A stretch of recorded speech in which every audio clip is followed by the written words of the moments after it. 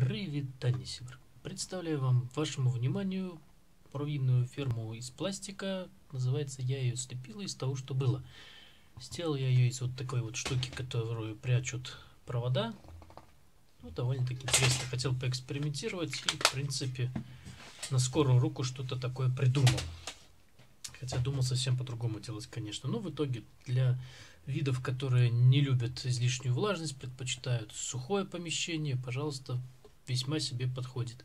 Губка питает вот водой, а все остальное сухое и удобно наблюдать. Заднюю стенку сделал из штуки, которая клеится пластиковая на стенку.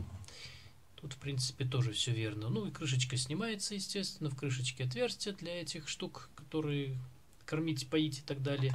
Мне нравится здесь, что в это есть пазик такой, куда вот это вот пластинка чудесно входит и выходит, замечательно выходит. И плюс стеклышко надевается, и, и все тут просто очень даже хорошо.